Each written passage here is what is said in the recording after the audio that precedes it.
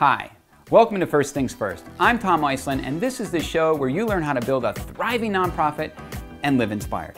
In the next few minutes, I'm going to be talking with you about the famed give or get policy and why it's so, mm, how should I say this nicely, lame?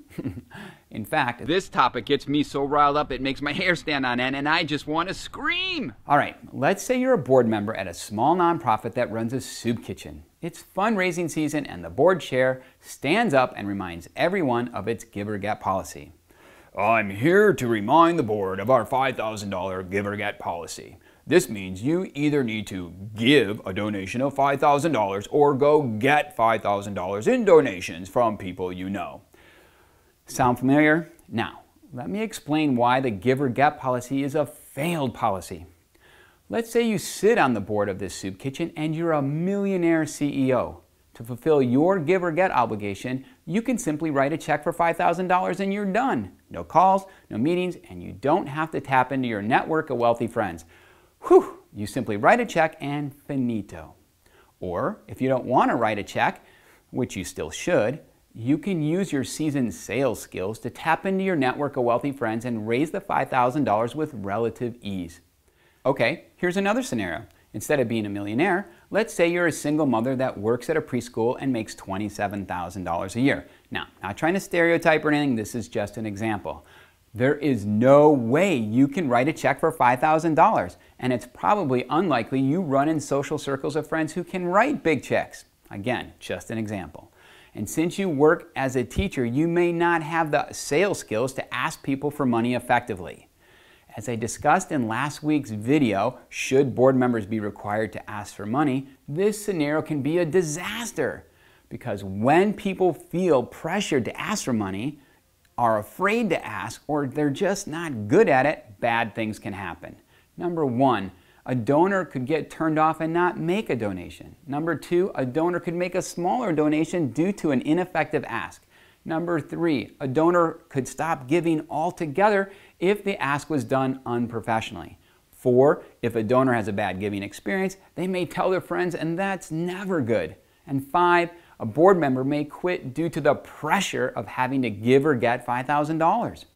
In summary, the give or get policy is a failed policy because it lets people with deep pockets off the hook and places an excessive burden on people with shallow pockets.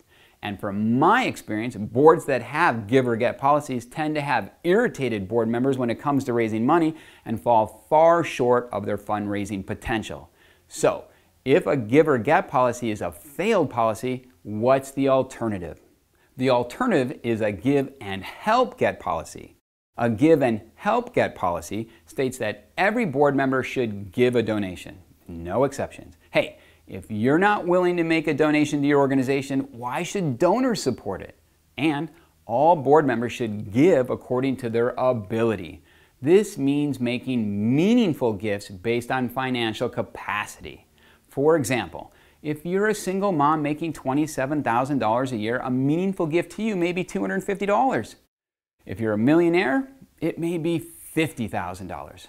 Now, the give is only half of the equation. The help get part of the equation means that every board member should help support the fundraising efforts of their nonprofit based on their skills, interest, and influence.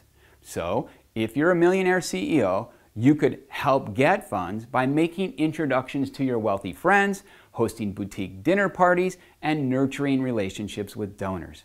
If you're a single mom, you could support the fundraising efforts of your organization by speaking at civic events, making thank you calls, or nurturing relationships with business owners you know in the community. Do you see the difference? The give or get policy irritates people and stifles funding potential, whereas the give and help get policy encourages everyone to give based on their ability and engages everyone in the overall fundraising efforts of the organization, which increases its ability to achieve its fundraising potential.